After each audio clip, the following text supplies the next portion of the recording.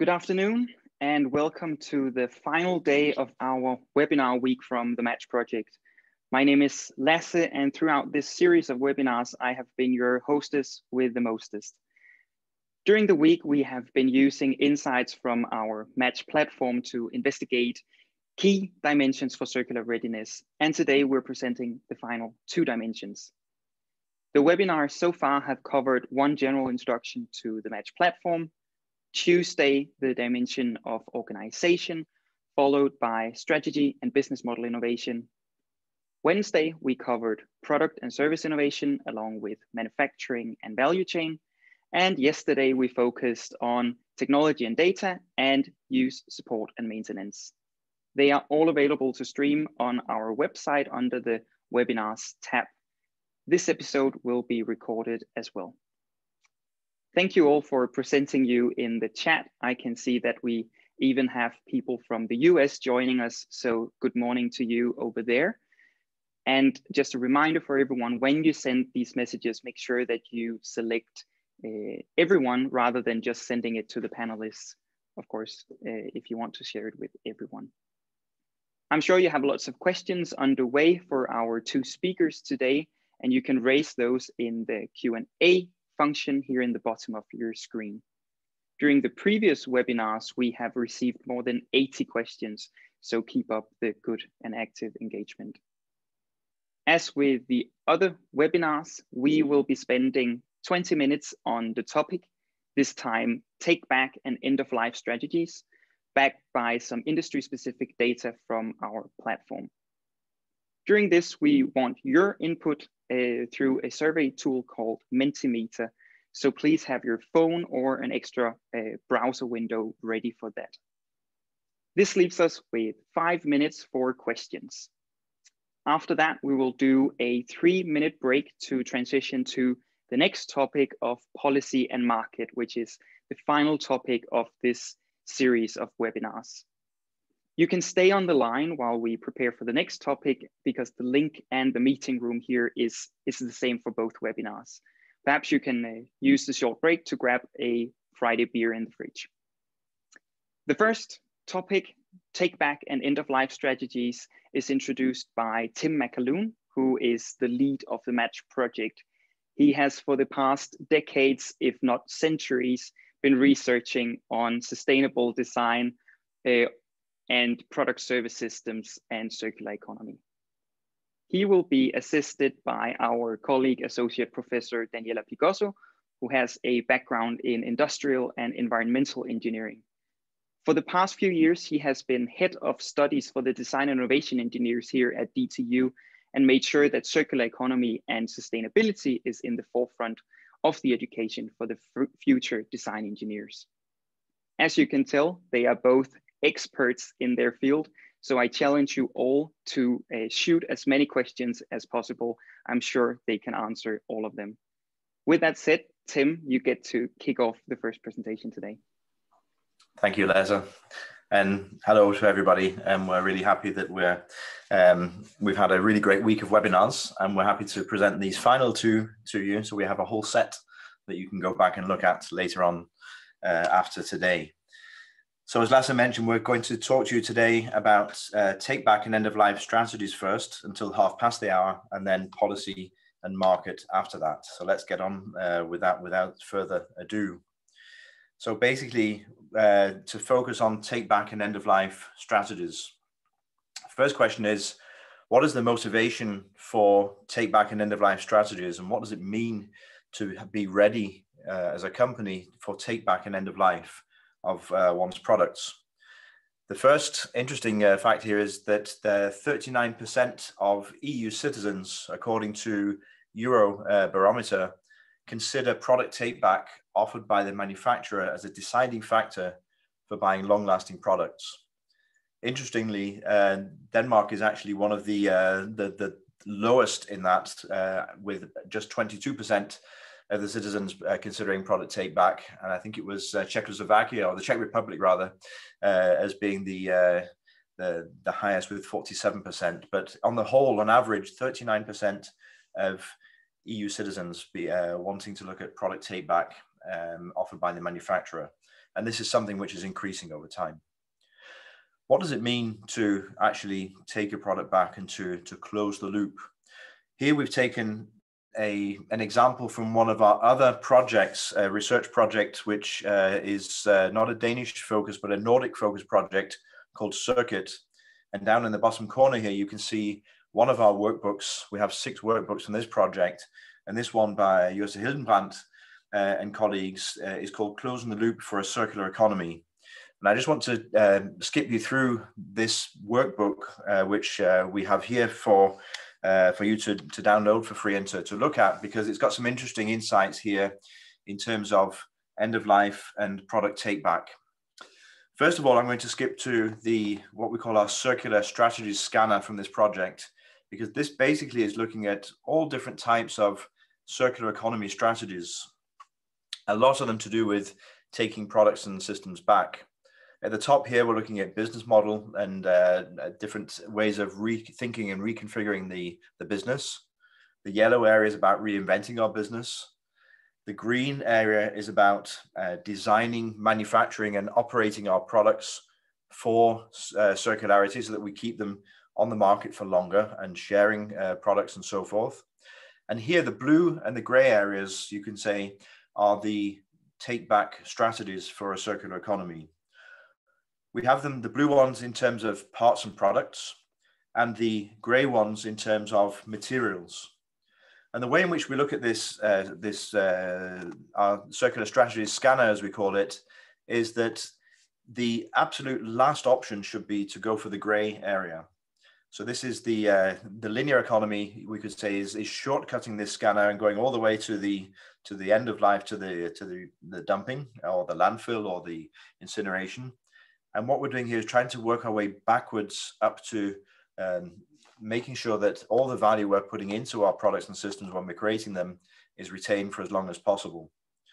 But what now when we have products on the market, uh, companies have products on the market for 10, 15, 20, 30, 40 years.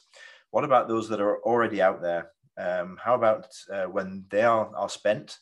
How to get those back, what to do with them when we take them back, and what are the different options that we have? So, in this particular focus on product take back and recycling, uh, we're looking at uh, recirculating materials and recirculating parts and products.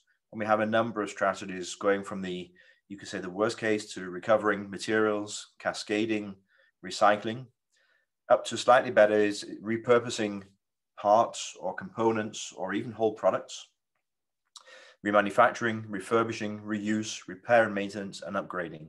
So these are all the different strategies here. And in this book, we basically have um, a, I'm just going to flick a few pages now, because what we basically have here is um, some description of all of these different strategies a, a, description of the the upgrade. What is does it mean to upgrade and uh, update, modernize our products and get that back out on the user? And here we see we show some um, some routes to take from production to the user to upgrading and getting that back out again. We're showing the logic uh, approach of that. Or it could be to repair and maintain our product. And we can only do that, of course, if the product is designed for so, or rather, it's best if we've, uh, designed the product for so. Uh, to be recirculated uh, from a repair and maintenance perspective. Or maybe we're looking at reuse. So reusing the, the parts or components uh, in, in some way from one part of the product, a primary user, reusing to a secondary user. It could be refurbishing. So making sure that we're collecting, wiping uh, data, for example, if it's a computer, repairing for functionality uh, improvements, and then giving some touch ups from the aesthetics and putting it back out onto the market for the original user or a secondary user. And it could be that we're looking at remanufacture, uh, actually going in and mechanically reworking the product and, and maybe additively adding extra layers and machining away so we, we have works like new uh, situations. And then finally, on the parts and products, it could be to repurpose. And we showed you an example in one of our previous webinars this beautiful example of uh, Copenhagen Village, where they've been repurposing old shipping containers to student housing in Copenhagen. I'm not going to go through the materials recirculation ones uh, because there's also a, a, number on the materials uh, pers perspective there. What I'd like to do instead is to show you a decision tree that we've also made, it's also in the book, which basically is helping you to make a decision about what now when we get the product back, what is the, the questions we can ask ourselves and how do we actually guide ourselves from the one uh, perspective to, to, or from the answer to one question to a strategy going forward. So you can look from, is there a demand for the products in the market? No. Then we go to looking at the recycle, cascade, and recover of the, you could say, the materials and components. And if there's a demand for the product in the market, maybe we should focus on recirculation of the parts of the product and a number of strategies here, a way of guiding our way through this here. So that's basically what the, the motivation for take back and end of life readiness is. So what we've done in a match perspective, uh, to come back to the match project, is to say, how ready are the companies that we've been surveying and the companies which have been using our tool in terms of their own take back and end of life strategies? And what we're basically doing is helping you to make to measure your capabilities to ensure that uh, we're maximizing the end of life or what we nowadays call end of use uh, opportunities that we see for our products or systems. For that, we have a series of questions, of course. And before I start to uh, ask those questions, I'll just remind you of uh, the fact that uh, that Lasse told us that we're going to be doing a survey. So what I'd like you to do is before I start asking the questions, I'd like to encourage you to go to our menti.com survey, either on your mobile or on a different browser. Um, don't close this browser, but go to a different browser and then use the code 2021 65 0. So that's menti, M-E-N-T-I dot com and use the code 2021 65 0. I'll keep this on the, the bottom of the screen while I uh, show you which questions we're basically uh, uh, asking in the platform. And what we're basically doing today is to get a straw poll from you while you're watching this webinar to see what you feel that your readiness is uh, in your from your perspective. And don't worry, it's anonymous. So uh, we're just taking a poll to make a comparison of the data that we're going to show you in a few uh, minutes. So while you're doing that, you can listen to the questions as I describe them and maybe answer them as I describe them. So the first question we have here in the platform for um, for Take Back uh, uh, is in terms of how far is your company or your business unit in establishing take back systems for products after their use. So you saw many of the different examples uh, that I was showing also on the pictures from the, the workbook there we're showing products when they're becoming, they've been taken back and they're being refurbished or upgraded or remanufactured. But how about getting them back? How ready is your company or your business unit within the company in terms of the reverse logistics? How do we ma- manage to get these products and systems back? Is it something you're not doing at all? Is it something you're planning to do? Is it something that you're actually starting to, to pilot? Are you piloting just now? Or are you scaling it up? Or have you scaled it up already? The next question that you'll see also in the Menti is how far is your company or your business unit in terms of disassembling and remanufacturing products so that they can be sold to other customers? So where the first question was looking at actually getting the products back from a logistics perspective, this question is about um, what is your readiness in terms of being able to have a, you could say, a reverse manufacturing process to take a product, to disassemble it, to uh, inspect it to make sure that uh, the different uh, qualities of products go into the right channels uh, and, and become updated or upgraded or refurbished or repaired or what have you, depending on their quality and their condition. Uh, how ready are you and your organization to, to do this?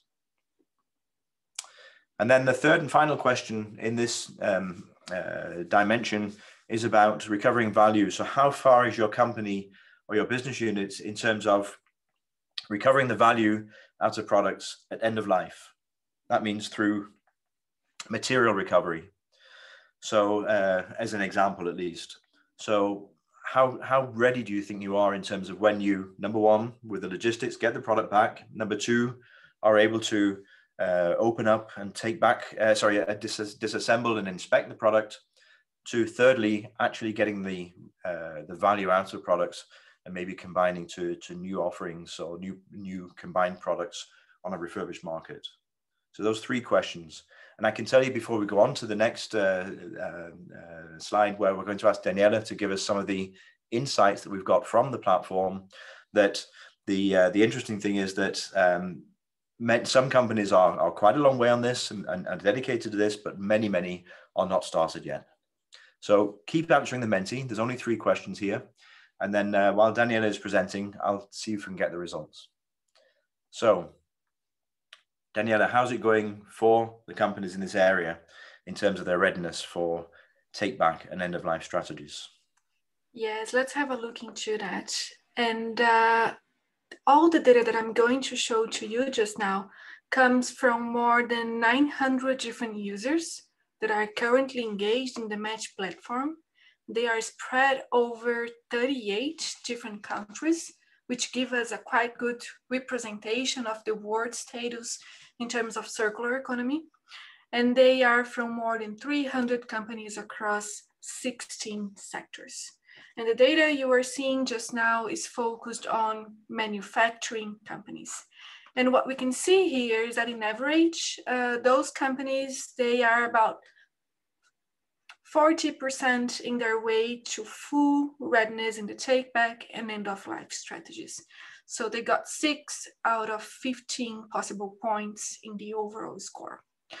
What we can also see here is that the two areas where it seems to be a slightly higher readiness has to do, first of all, with take back systems, uh, where in average companies are planning the pilot implementation, but we can already see a number of companies scaling up and planning is scaling up uh, as well.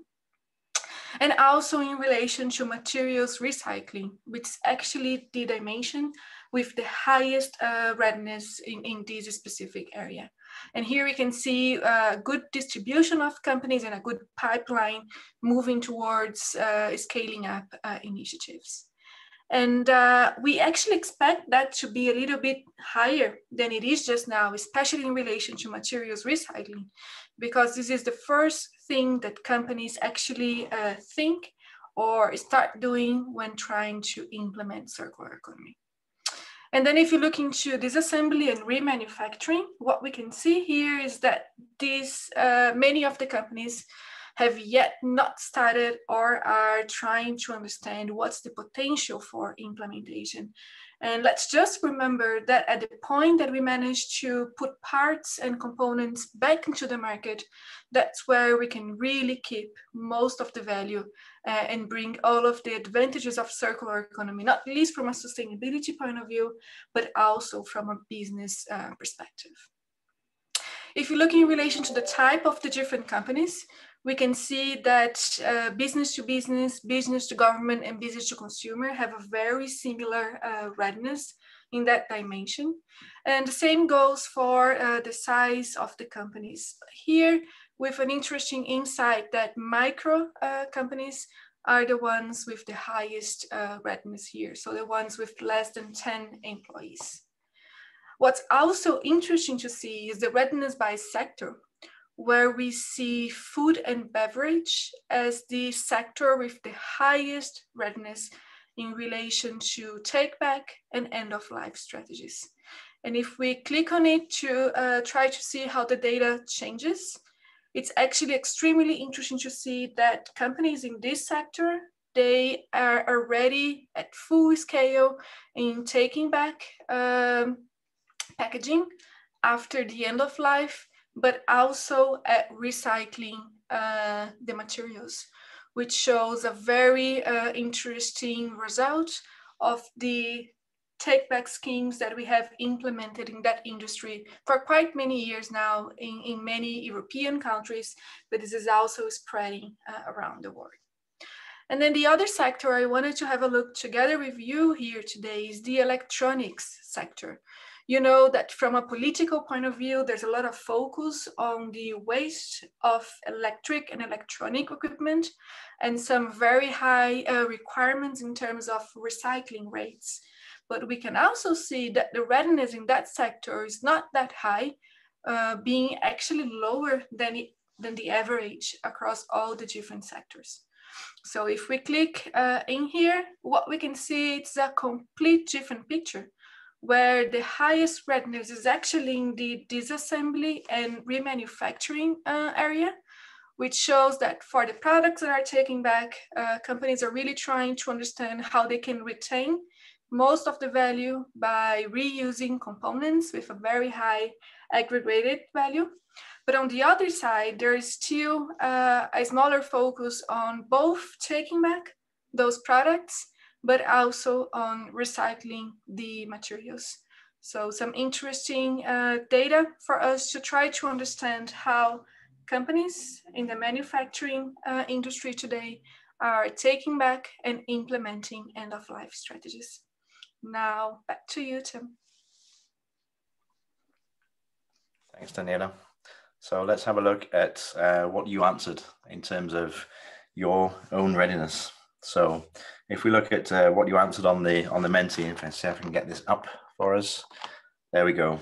So we were 17 people that uh, actually took part in this. I know there's lots of uh, researchers and lots of consultants among the uh, the many we have online today. So some of you abstained from answering. But in terms of how far is your company or business unit in, in establishing take back systems for products after their use? Um, 10 out of the 17 that answered have not started or are still understanding the potential. One is planning the pilot implementation, and six are piloting initiatives. So somehow mirroring what uh, Daniela just showed us in the data. So uh, interesting to see that there. How can we make that better? Is the uh, is the question. In terms of how far your company or business unit is in terms of disassembling and remanufacturing products so they can be sold to other customers, uh, even less ready, you could say. So uh, compared to the one before, where we had uh, six at least piloting initiatives and one planning and pilot implementation, here we have just three of the company representatives in the room uh, today in this webinar. Uh, piloting initiatives, and that would be nice to hear. Maybe you could type it in the in the Q and A if you like, uh, who you are, which companies, only if you'd like to. And then there's 14 who have not started doing that. And then finally, in terms of how uh, far is your company and business unit in terms of recovering the value out of products at end of life? That's interesting. So from the now 16 people that answered this part of the survey, one of you are actually scaling up initiatives or fully implementing. That would be really wonderful to hear if you'd like to share who you are. Two of you uh, planning the scale up, two uh, representatives here piloting initiatives, two to planning to do that, and just nine out of those 16, 17 that answered before um, have uh, are still just on the the starting uh, round. So here we can see a clear need to boost the readiness, and this is completely in line with what we've been seeing in the uh, the match platform as well. So thank you to those uh, 17 of you for for participating in this part of the of the survey. So with that, that actually brings us to the end of what we had to present for you, and I hope that there's some questions and uh, uh, well answers will come from us hopefully. But I hope there's some questions in the uh, the chat there in the Q and A uh, part. And I'm going to hand it over to you, Lasse, to see uh, if you can uh, guide us through any of the questions that have uh, arrived. Definitely. And Tim, the, the first question is for you. That's from Heather. And she asks, um, what is needed to boost the take back performance of companies? And is it always a sustainable uh, idea or to do so. Right. So, so to boost the take back, of course, it needs to be, um, you could say, worthwhile doing it. So it, that will, of course, depend on the product and the product type and the market and the sector. Um, we've seen here in, in, in Denmark, I've, I've been living here in Denmark for, for 20 something years and over the years, and also looking back on what was being going on before I arrived in the country, I've seen that there's been different experiences with um, what do people do with their old car, depending on how much money you can get back for it when you uh, uh, have finished with it and it needs to go to the recycling center. Um, if you don't get anything, then some people, or if you have to pay, then it gets dumped in the forest. If you get uh, something for it, then of course uh, it's an incentive to drive it to the right place uh, and so forth. And that's just one simple example. And I think that's seen in many other countries too. And I think that, um, of course, the value needs to be there for the company. Uh, one example we didn't bring up today was uh, uh your telephone. Um, there is uh, just about all of the periodic system in our smartphones, uh, which means there's also gold and silver and all sorts of different precious materials in there. And uh, it's not just through the good goodness of their heart that in Apple stores around the world, they will offer to take back your product and maybe offer you um, some money in, in the form of a voucher on your next purchase for your product. And you may have seen their adverts on the internet about um, the the robots that they have. I can't remember the name. I think Liam was the first one, and they have another one now. Uh, taking these telephones to pieces and computers. That's of course a great sustainability story, but it's also because they can see that this is their product, it's their materials, it's their components, and if they can uh, manage to get them back through their channels of their their outlet stores, then of course they can trust completely what grade of aluminium they're using, uh, they're getting back because it's their own product. So I think there's some really great examples out there um, in, in different areas, but it doesn't um, go for all product types, of course. Is it always sustainable? No, it's not. From an environmental perspective, not necessarily. Uh, the, the minute we start to spend too many resources environmentally to get the products back uh, in terms of uh, um, what we can get out of them, we're doing it wrong. So we need to find out the right reverse uh, logistics solutions. And Tim, you say that the, there are uh, gold in our phones, mm. um, and in within Europe, uh, the electronics industry has to uh, adhere to the waste uh, electronic directive, but also the extended producer responsibility. Can you elaborate on why they performed so poorly in the data set that uh, Daniela just presented?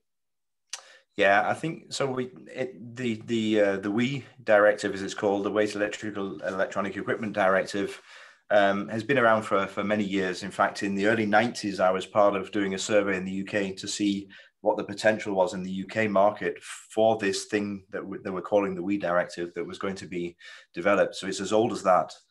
But I think that what's going on now is we have a, a, a voluntary um, uh, system in each country for the WEEE directive, how to actually uh, manage to, to do that take back system. And the way in which the directive is working is that I think that uh, it's being seen just now how each country tackles the way in which they take their electronics back. So far, we don't have any uh, developed um, directives at a European level, if we, if we stay within Europe, uh, to my knowledge at least, which are starting to put higher uh, levies on actually taking back. But what we're doing is putting a levy on through the WEEE directive on products which are, um, are manufactured and sold within the European Union. And then on top of that, we have the so-called eco-design directive, which is uh, telling us how to it's not so much about the the, uh, the, the take back of it as it is about the actual uh, the design and the energy usage of our products um, of electronics products. So I think the reason is that um, we're not being forced to do it yet um, in in the same way, and also that the recycling market uh, within the European Union is is quite developed, you could say, in terms of taking these things back through other voluntary uh, organizations, not organizations, voluntary systems that are there. Thank you. I'm going to stop you there. Uh, Daniela, you will just get a final question before we finish this session on take-back systems. Um, what is the best way to implement a take-back system? Should that be done alone by the company or in collaboration with other stakeholders? Yeah, that's a really good question. It, it depends on the sector that you are at, also the types of products that you are developing. But Denmark, there's a very good example from the be beverage industry that got together to develop the take back systems for uh, bottles and uh, drinks packaging. And they actually joined forces and they created a uh, another organization that is a not for profit organization that is responsible for collecting the beverage packaging for all the different brands and then recycling them uh, in, in a proper way. And this is really an advantage for products like uh, packaging because it's really important to ensure harmonization to make it as easy and convenient for the customer as possible. If each brand had their own uh, kiosks where you could deliver the packaging, I'm sure that wouldn't be as efficient and as effective as it is just now. So have a look into the type of product you are developing, the type of infrastructure that you have available in the different countries. Uh, and on the basis of that, look for establishing partnerships, potentially with competitors, but that in that business you actually be able to uh, establish win-win collaborations and get much higher results uh, by doing so. Thank you, Daniela. And actually, fun fact about the Danish uh, bottle recycling system, it was uh, established back in the World War One uh, because it became illegal to smash uh, bottles. Um, I think that's all for, for the questions of, of this topic. We will do a two minute break Uh, and transition to the next topic of policy and market thank you so much for the questions we got for, for this session. And I hope to see just as much engagement for the next session. See you in a few. See you shortly.